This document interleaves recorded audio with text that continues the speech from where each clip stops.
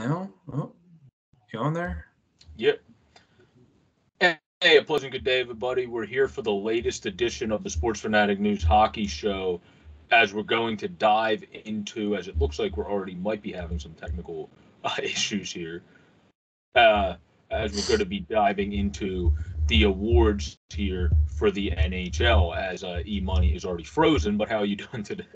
oh wow, I'm frozen. Uh, I was hoping not to be You're frozen. I just You're back in. You're back in. okay, sweet. I was gonna say I wanted to show off the the new smile. I finally got a front tooth again. So, um, anyways, it's all good though. Yeah, it's this is my first time being back on the show in months. I was from like November to end of February. I was busy coaching a swim team, and I well that and work. Oh, I didn't know you did that. Oh, that's yeah, that's why I was like MIA for a while because I was just so busy with that, and um, that already took up a lot of my time as it is. So, anyways, um, yeah, what what what award did you want to go into first? The Jack Adams. We might as well. That's it. Yeah, we might as well just dive into the coach of the year first because we can kind of go over that one. Probably that. That's not one you're going to probably dive into for hours on end. So Yeah. who would be your Jack Adams? Um, well, first off, I just wanted to say that like I feel like most of these awards are really hard to call. Agreed. Um, there, I mean, there's a few that are wrapped up. Like we all know, Shesterkin's going to win the Vezina, and that was pretty much Yeah. decided like three months ago with Yeah. how filthy of a season he's had. Um, uh, but Jack Adams, I'm going to go Daryl Sutter. I just think he's coached an amazing year. A lot of his players have had career highs. Like Mangiapane pretty much came out of nowhere. Um, I mean, that top line's incredible, and I don't think last year. Um, so I think that's in their division. Uh, they'll finish roughly around second in the West, close to it. I mean, we know Colorado's going to have yeah, Colorado definitely would be a good team too. so so Flames will finish like second or fourth in the West, but they'll win they'll win their division. I mean, yeah, the Pacific division's not that great, but I mean, I just think the Flames have had such a wonderful season. Uh, they've really had turned things around. I didn't think they were going to be this good this this No, year. I didn't think so. started. Yeah, I didn't think the Flames were going to be this good. I thought the Flames were going to have a chance to be good this year, but not to the oomph degree of 104 point season already, plus 82 different. Like they got some ridiculous stats going with that team. Plus, when you watch them, they look brilliant Right. out there on the ice. And Gaudreau's back to being Johnny Hockey version of Gaudreau, so that that also goes a long Yeah. way. And they seem to show no signs of wanting to get. Before it was, oh look, we're going to move on from Johnny Gaudreau. Now it's like. I swear to God, if you don't re-sign Johnny Gaudreau, I Right. will kill you. Like, so it's a completely different uh shift. Yeah, yeah. Uh, which is funny to see. But the guy I give it to, uh, just from the perspective of the fact that I didn't even see this team being a surefire playoff team, and I I think they've been much better progressed quicker than other teams have expected. I'm actually going to say a wild card, an oddball one, Todd McLellan, because of how good the Kings have done. I didn't see the one. I didn't see Jonathan Quick, and I, and I love Jonathan Quick. He's one of my favorite coaches of all time. I worked for the Reading Royals. He was a Reading Royals great. Jonathan Quick, hats off to him. But he had a, one of his best end of career seasons this year. Then uh, Petersen had a bad start, which is when Quick picked it up for him. And then when Quick started kind of going back to being later career Quick, Petersen then turned into what he was the year prior, being able to at least be a solid goaltender. Where the the Kings also play when the, when they have everybody healthy, the Kings to me play a very good defensive structure. The only reason they're a minus three differential is their defense injuries have kicked their behind this year. Like Yeah. Walker's out for the entire season. They've had others that have been out for multitudes of games. Like and Doughty's out for the year. yeah, Doughty's out for the year. Yeah. So like if it wasn't for that, and that's also why for me he deserves all the credit, McLellan. You got this team no matter what injury it went through, to with these young prospects that a lot of people did not think are fully ready yet to perform well enough to get you to Yeah. where you're at now. So that's why to me I picked McLellan. And you also Yeah. picked the guy I was going to have as my number one pick, so I couldn't pick him. So there's also Ah, you can pick the same person as me. I don't, care. It doesn't bother me. I mean, we can have. I just li- I just like mixing it up because then they get to hear like I if I have a second person I'll probably mix it up because then people get to hear like different reasoning so to speak. Yeah. It's yeah. good. It's good for, like to listen to like a different perspective too. I mean, I can, I, mean, I, I can see that argument too. Like, I mean, I don't think that Jack Adams is set in stone or anything. Um, no, not at all. Yeah. No, no. But I think the next one um, that would be cool to go on to. Um, did we want to do the Gregory? Did you want to talk about the general manager? Because I don't care about that. You don't care about that? Okay. Nah, so, I, I forgot that was even a thing. All right. No, I just figured because that would be the best time to do it since we talked about the coach of the year. But we don't have to do that. Last year was yeah. Lou Lamoriello. Uh, yep. We can uh, the Calder then because the Calder, there's actually a couple cats, two of which are on the same team, that yep. could potentially uh, win the Calder Trophy. Uh, one of which is on Toronto and an overager, so we'll see how that affects them. But uh, who do you have as your Calder? Yeah, I had a really hard time picking Calder, honestly, and I think it could go between like four or five different people. I mean, yeah. um, I mean, Zegras could be on there. Um, he, he's probably the most exciting because of how unique he is as a player, the stuff that he can do, and I guess also can it's not that good. Um, Detroit had a couple good rookies in Seider and Raymond. Um, and then Jeremy Swayman on the Bruins, uh, he's had a pretty good year too. Uh, I think I would lean towards Bunting. He assists, 23 goals, 63 points, um, just top three in those categories as a rookie. I, I, really don't even know. I mean, if he doesn't get it, that's fine. If he gets it, that's fine. Whatever. It's it's yeah. close. It's very very close.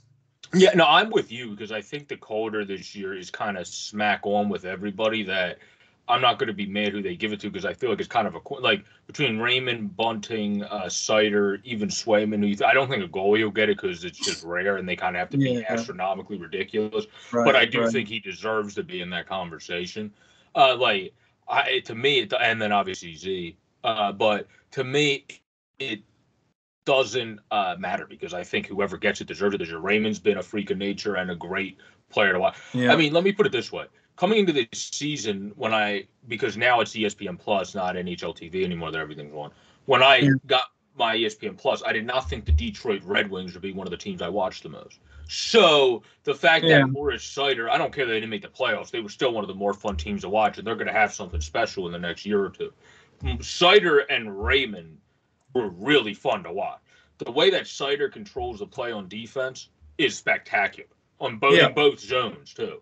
And then Raymond is not afraid to try anything. He might not succeed when he tries that move, but right. the fact that you're that young and you're not afraid to try anything, that speaks volumes for as you grow into your body and grow into a player. So, so I would say I'm between the like I agree. Uh, Bunting, you, you, took my first choice again because I don't agree with the whole overage argument. Uh, so I think Bunting, like Paul Bissonnette loves Michael Bunting. I listen to Spitting Chicklets. Biz is obsessed with him.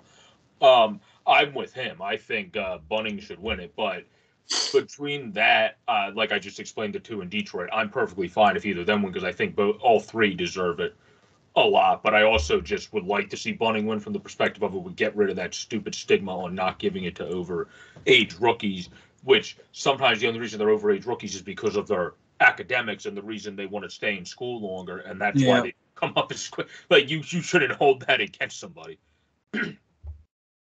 yeah, I mean, I, I forgot he was 26. It's so strange how that works. Well, the, the way the NHL does the rookie stuff is really weird. Like you could be a rookie for two seasons, but as long as you didn't play X amount of games, like it's weird. It, it's weird to say like, oh yeah, Matt Murray won two cups as a rookie. Like that's it's just strange. Um, but um, yeah, it's crazy. We have two of the same first choices in a row, pretty much. That's cool. But yeah, I mean, you can make a case for others, and um, I tell you what, Detroit is going to be good again within the next like two within the next like two years. I think they'll be a playoff team again. Oh, I don't know. Watching them a lot for that because I loved watching them this year. That I'm just going to try to follow this one because I love following prospects. Honestly, sometimes more than like I love following the NHL, but prospects is kind of my thing. I just love they have so many good ones that they're a team that I just continue to want to watch going forward. That even if they don't make the playoffs next year, they're still going to be a fun team yeah. to watch with how they grow. And right. then they're going to continue. And then they have one of the best prospect goalies. Now, I don't think Nedeljkovic is bad. I think he just had some moments this year of not being as sharp. But I do think Sebastian Cossa is ridiculous. So as he continues to develop, you also have him. So yeah. Um, who'd you want to give the uh, Lindsay to? That see for me, it's always tough with this because you either sometimes give it to the more offensive guy where McDavid's great, and I love Connor McDavid. I love watching him offensively. The issue I have with Connor McDavid is the same issue I had with Alexander Ovechkin when he was young that I don't have with him anymore. And now I went from really liking Alexander Ovechkin to him being one of my favorite players in the history of hockey because he committed to both ends. Where I really like Connor McDavid, he'll probably go to being one of my favorite players in the history of the game if he does the same thing.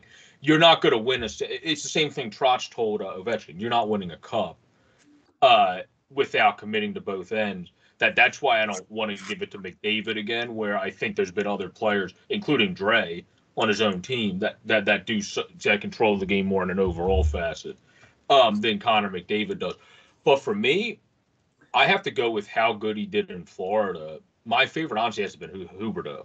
Jonathan Huberdeau has been good his entire career, but he went from being a really good player to just being an elite, great player this year yeah. when Florida needed it most. So you, so you would say that he should win the Lindsay? Yeah, because he also, to me, also is good on both ends, which Connor McDavid does not have that factor. I think McDavid's gotten better defensively. If you look at his, he's gotten better. He's still bad. Like it's more when you improve to me from being bad, you have to get good first before I respect your defense, basically. Yeah, yeah. I mean, I'm not saying that like he's like Bergeron level, which like not no, many people are, but like his face-off percentages have gotten better. I mean, the thing with Huberdeau, I, I still think he's underrated because nobody ever talks about him. And like he could win the Art Ross this year for all we know. Like he's close. Like he is close to it. Yeah. Yeah, he's a good he's a good player. I've been saying for the past two years how underrated him and Barkov are because they never get talked about ever. And I think that's because they're in a small market team. Like a lot of people probably think like, oh, there's hockey in Florida. Like you can't. It's hard to picture They're that. Also in the smaller market team in Florida, that's the problem because everybody yeah that too hockey that, thinks of the Lightning and doesn't think of the Panthers. Even though the Panthers are better than the Lightning this year, people yeah. are still thinking about the Lightning and not thinking about the Panthers because of the track record of their last couple. Back chance, like yeah. you know, they're they're they're in Tampa Bay with like you know Brady going down there, and it just give exposure. Um, I mean, I could I could see Huberdeau getting the Lindsay, but I guess also at the end of the day, it's hard for us to to gauge on it because that's the players that pick that. I mean, for me personally, like you could definitely go with a couple guys. I would probably still pick McDavid for Lindsay just because I still think he's the best player in the world. Um, it's just that he's on a Dookie team. Like, I mean, I guess I guess they're not like bad, but like I just don't. Woodcroft, I like how he's got them playing, but the problem is you can't coach what you don't have. Yeah, I just don't trust the go very far. Like, and they'll probably maybe win that series unless Quick goes back 2012 self um those years. Petersen really steps up yeah yeah I get yeah like I just I just don't like the Oilers goaltending. They're missing people and they're missing a number one defenseman and well, for me, for me I mean you don't have to agree with this but for me their best goaltender barely is played. Like if when I, I cover the AHL too so I've watched a lot of AHL hockey Skinner's been good for Bakersfield. Also knows Jay Woodcroft. When he's been up, he's been better than Mike Smith has this year, minus the last six games Mike Smith played that he's actually been sharp in. But um, to me, if you have a young goaltender showing progress, why are you keeping two old guys? And you could just let one old guy platoon with the young guy, and right. then if he takes the reins, go that way. Like like the thing that annoys me the most about teams is when it seems like they work backwards, and I see it a lot because my team does it consistently. Where the Oilers look like they work backwards, where it's like, well, let's just wait because we have some old guys here that can be good enough, and it's like, yeah, well, why do you want to settle for good enough? Like you might have right, you want, yeah. even if Stuart Skinner's not a fantastic goal his entire career. We talked about it before the show uh, Evan. Like, how many guys have we seen just hit lightning in a bottle for a season for somebody? And that's so like that's why you should just ride with him. We already know what Mikko Koskinen is. We already know what Mike Smith is. Right. Like, yeah. That's.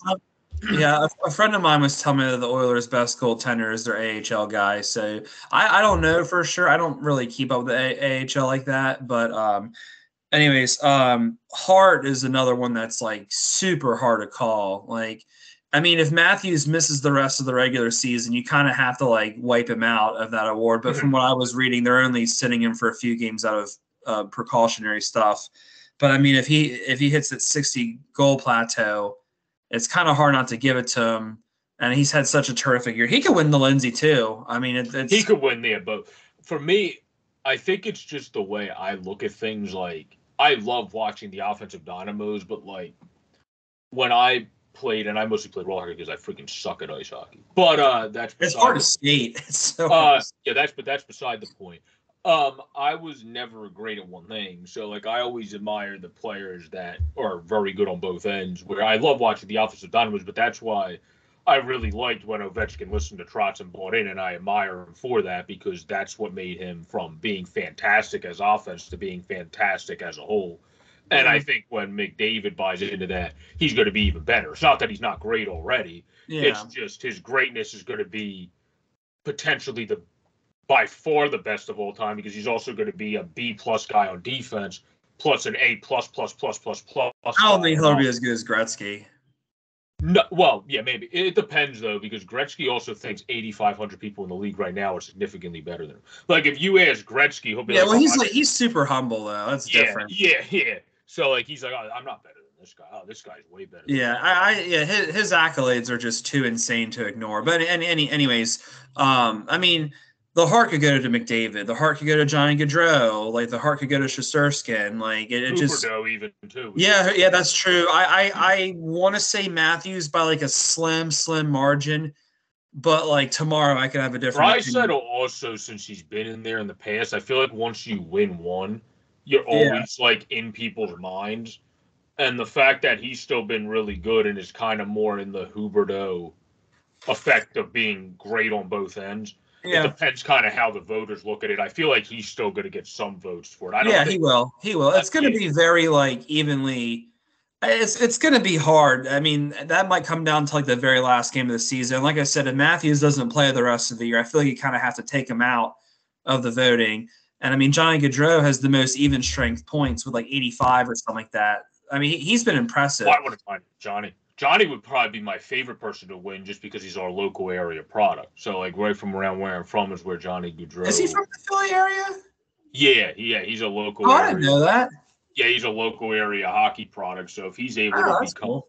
the Hart Trophy winner, that would just be cool for my area. So he's the guy I'm rooting for the most. Yeah. Uh, but um, I would also not mind seeing if Jonathan Huberdeau gets. But yeah, honestly, yeah, I'll just say Gaudreau just because that's the guy I'm rooting for. So Yeah, go it's it's close. You're splitting hairs with like five people.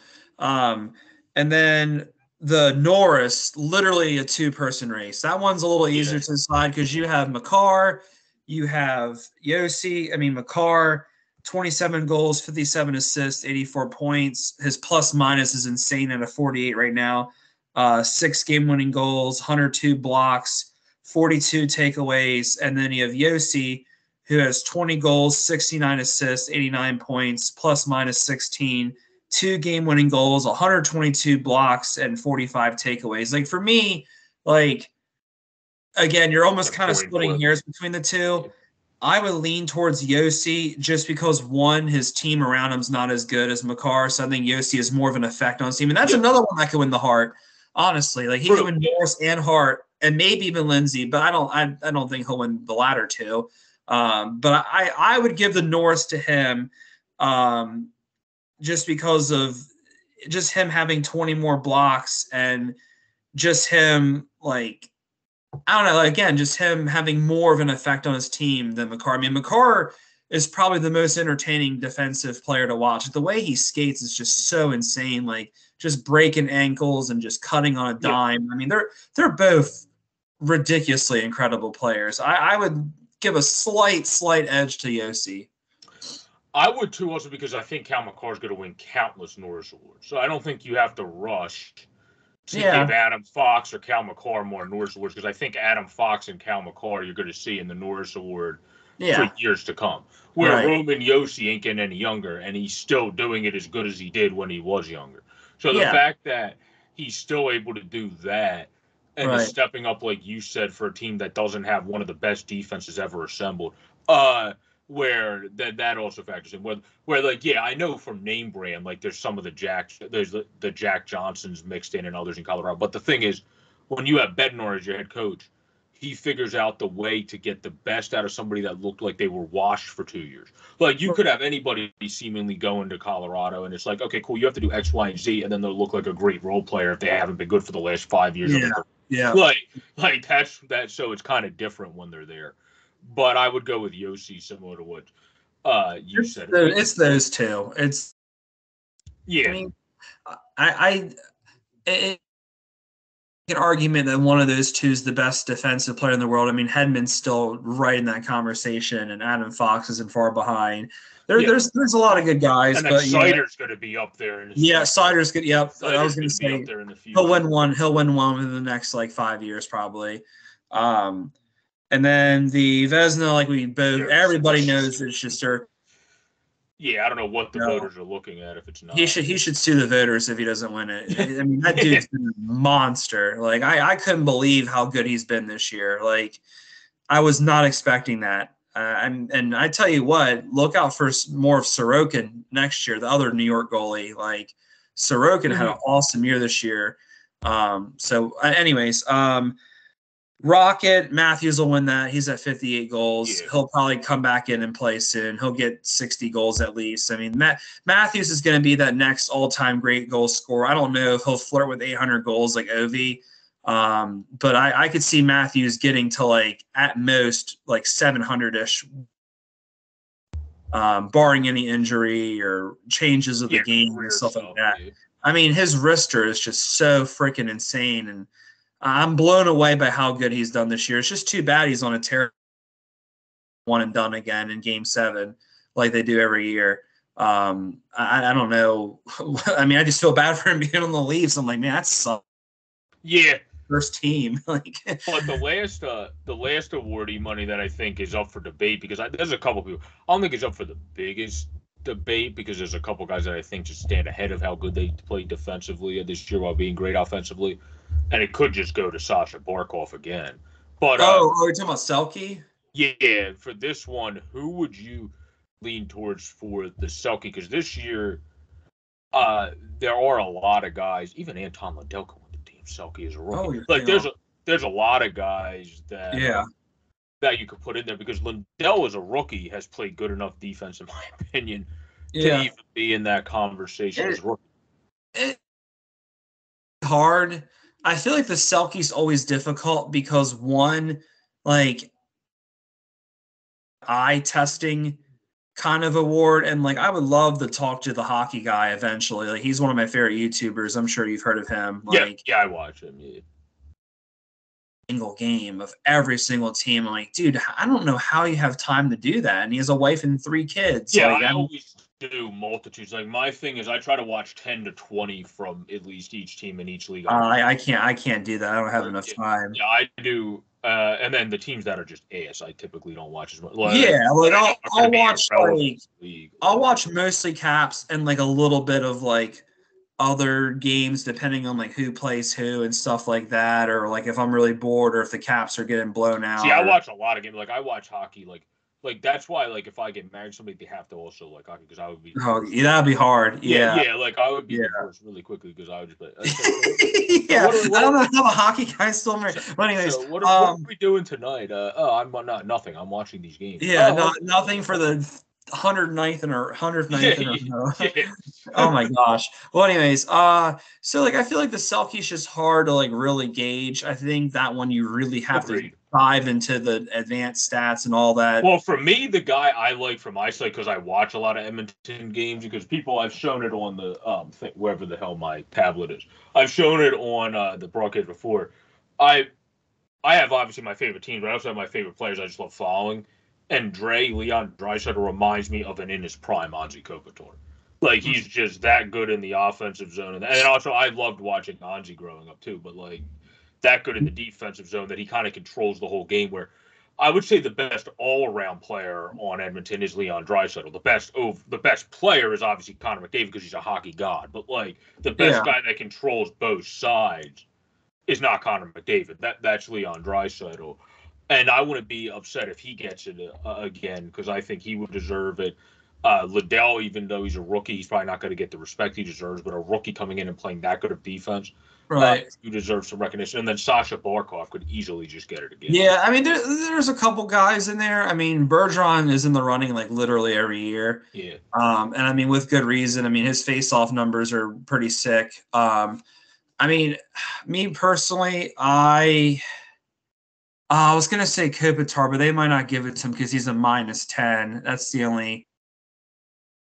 It, it's it's so hard. I keep tossing and turning between people. Honestly, like, I mean, uh, I really don't know because I mean, I like that Kopitar blocks a lot of shots. I like the way that he like strips the puck a lot. That's why like, like uh, Dre. That's why he reminds me of Kopitar because Dre seemed to honestly like. That's why I would love to get to interview Leon Draisaitl or something because it seems like he emulate. Like it seems like he must have watched Anze Kopitar growing up by how much he emulated his game. Like I wouldn't be surprised if he watched him grow because like a lot. There's a lot of similarities when you watch. Yeah, there are some similarities. I- Yeah. I mean, I mean, Draisaitl's no doubt better offensively than Kopitar. Oh, yeah. like, no Yeah, doubt. Kopitar's more limited offensively, but that's why it's that's why it's freakish when he gets those 80 point seasons because he isn't as as good skill hands deke wise as Dre, but he just knows how to get to the net front, knows how to get to his one timer position. Um, so yeah, yeah, yeah, I agree with that. The offensive guy, I would give favor to, but defense wise, I think they're both even in the So same. you, track. so you would get you would give the Selke to um, um, Draisaitl. Yeah, I would say Draisaitl with my second because I like even if you look at Oh his my numbers, gosh, you got seventy takeaways. Yeah, his numbers are skewed if you look at just his plus minus because he's on Edmonton. So like I don't care about like like it- like if you're on a team that your plus minus is an accurate stat because you're on a team that actually helps and gathers together like Edmonton's been doing their last couple of games, especially their last game against the Stars. Yeah, If they play defense like that all season, they would be much better. But right. if um if Draisaitl well, the way that he does that, that's why I give him the Selke because he controls the game so much. He gets so many takeaways. He cuts passing lanes. He blocks shots. He stays Yeah. out there after he looks injured after blocking a shot and then proceeds to block another shot. Like that's why he reminds me of Kopitar because Kopitar would look injured half of the time eh, eh, when he plays for the Kings. Sometimes he has to block a shot and then stay out for two more minutes. Well, Like like he's just a, like they're both kind of just those gamers where there, there- there's always great players, but then there's those guys that just never get phased. And both of mm. those guys seem to be. I mean, I it, it it's yeah, you're splitting hairs with this. May, maybe I might give it a Barkov because I'm I'm looking at I, I I don't know. I don't think I'm a I'm a, I'm a good source for saying that, but it, I might give it a Barkov by a hair because I'm looking at shorthanded stuff too. Because you got to think penalty kill as well, and and Barkov is a god on the penalty kill, and like his his numbers are respectable. Like I just feel like if you're a minus, you can't really win the Selke. So Kopitar is disqualified for me, even though he is a beast defensively. Um, I might I might give that to Barkov for Yeah. Selke, but I, I I'm not comfortable saying it 100. percent So you you would go Dre, which like I I can I can understand that too. Yeah, well, so I obviously gave off the fact that I'm a little bit biased going since he's one of my favorite players. So me going with Kopitar would also have been very biased because he was my favorite player growing up. When I, which actually is a story about Kopitar. I don't know if this is true, but I played with somebody on NHL and we ended up like DMing back and forth and we were talking about the Kings, and then like eventually like I mentioned how Anze Kopitar is my favorite player, and then that guy I was playing NHL with was like, "Oh, well, that's me." So like I don't know, like I can't ever tell to verify if that was true or not, but like how much knowledge we have because we had like a literally 45 minute DM Yeah. on PlayStation conversation that's about crazy. the LA King. And then I went to saying, "Oh, Andy Kopitar is one of my favorite players of all time." He's like, "Oh shit, really? Well, that's well, thi- well, you're talking to him right now." like, so, so. But you don't know if it really was him or not. I don't know if it really was, but like the knowledge Probably he not. had. Yeah, but it had to be someone that was really connected with the Kings because the knowledge they had about like series and exactly what happened and like why something like it was definitely someone that was either him or somebody that was just like is a just like baller fan of the Kings. Like Yeah, and like the Art Ross is going to be really close because I'm I'm looking at it right now. Like McDavid. Oh wait, that that's a little bit outdated. Hold on. McDavid, I think, has the lead at 113. I think McDavid's leading in points. If I remember, I haven't looked in like five days though, so I'm not. Yeah, I looked at it this morning and I want to double check because uh, sometimes it doesn't like update. Um, yeah, McDavid's at 113, Huberdeau's at 111, Gaudreau's at 108, Draisaitl's at 106, and Matthews is at. We're gonna have a lot of hundred point mm-hmm. in a while. Like yeah, this season has been a season for offensive dynamos. That's for four, five, six. Well, I wrote. We'll, we'll probably have at least seven hundred point guys. Tkachuk's at ninety nine, Marner's at ninety five, Kaprizov's at ninety four. Uh, Kaprizov could even get an MVP MVP voter that's too. Good, yeah, that's a good point. He probably should get a couple. Yeah. It's there's like, like I was saying at the beginning of the show, like there's so many awards that are like very, very close between multiple people, except for the Vezina. That's the only yeah. one where like that that's an absolute 100 percent clear winner unless you're mentally challenged. Like that's the only that's the only one that's like cut and dry. Like there you go, there's your Vezina. They they could have handed it to him like three months ago. Here you go. No, yeah, he, I think I think McDavid will hold it just because of how nasty he is. I think he'll hold it at 113. Um, I mean, it, it's going to be close between him and Huberdeau and Gaudreau, but McDavid I think will hold it down the end. Um, and it all it also helps that his division. Well, I guess. Oh wait, I keep forgetting Johnny Hockey's in that division too. Well, that, that Pacific division sucks. Like that's why I thought the Kraken would slide in the playoffs as like a wild card team and get bounced quickly because I was like, oh, like their defense and goaltending don't look yeah. too too bad, and then they just they just bad. Yeah, they just. I mean, yeah, and I and, still I still think with Beniers and the team they're forming, they'll be fine. I just did a video on them that I'm going to put out either tomorrow or tonight, but they'll be fine in the long run. It's just, it's it's a they're, they're like most the hockey guy did a video on this. They're, they're, like most expansion teams throughout history. Not most are the Vegas Golden Knights. The Vegas Golden Knights are an enigma. They're not. Yeah, that was crazy. Well, yeah, was a big part of it. Yeah, exactly. Well, they had Fleury. They had the right coach which is why I knew the Rangers were going to be good this year. And some people are like, ah, nah, they're not going to make playoffs. I'm like, ah, just watch because they didn't lose. Pretty, they pretty much didn't lose anybody that important during the expansion no. draft because all their players were too young to be eligible. Well, not all, but a lot of their players were too young to be eligible for the draft. And they have speed. They have the coach. Like they have a lot of things in place. They have a number one defenseman. I mean, I didn't know Shesterkin would be this good but I just knew for sure they'd be a playoff team, and that's coming from a diehard Caps fan. So, I mean, yeah, well, that was coming from a Flyers fan, and I said the same thing. I was like, "There's no way this Rangers team is yeah." Like, like yeah. as long as their young guys play well enough, they're going to make the post. And I, I called it wrong with the Cup final. I thought the Cup final this year was going to be Islanders in Vegas, and I was completely wrong on that. Islanders just. What did I just say in the? Uh, the, the the show that we just did in the east, I think I put Florida, and in the west, i trying to remember who I put in the west as the team. Yeah. Well, I mean, I think, I, oh, Colorado. I, I, think it was Colorado, Florida. I think I should. Yeah. Well, I just, I just said, I just said Vegas and um, Islanders. Even though the, even though Vegas traded Fleury for nothing, I just thought Lehner could have been good enough to help take him there. And I think if Vegas wasn't hampered by all those injuries for a while, I, I think Vegas could have really have gotten the ball rolling a little bit too. But I mean, we'll mm-hmm. never know. Um, I mean, Vegas is on life support right now. Yeah.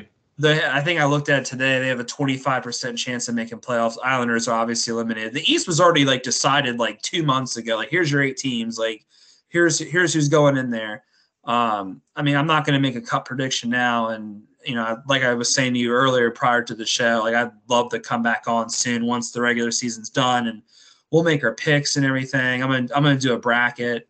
Um, I'm sure you guys will probably do that again too. That's always fun. Yeah, those are cool to do. And, my and then, sleepers, uh, the Rangers, just to throw that, and that's coming yeah, from the Flyers. That's mine too. My sleepers, the Rangers. Right, yeah, Rangers are a dark horse. Yep, I agree. They're absolutely dangerous. The only thing that's kind of concerning is they don't have a whole whole lot of experience, but exactly, they're dangerous, man. They are.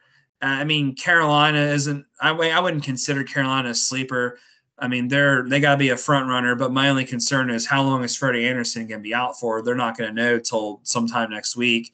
Um, on the West, I just get this feeling that Nashville could potentially go on a run. Um, I like what they have over there, but it's hard to say. And you, you got to really think who's going to win the President's Trophy because chances are, if you win that, you're not going to win a cup. Um, just by whatever the weird superstitions Weird. behind that that have Yeah, actually come to fruition statistically somehow as well. Yeah. Yeah, it's it's it's it's strange. And I mean, it's either going to be the Avalanche or the Panthers that are going to win that. So, I mean, if you're a fan of either of those two teams, you honestly kind of want your teams to lose a couple games just so you don't win Yeah. it. Yeah, like I'm I'm happy the Capitals are, didn't win that this year. I mean,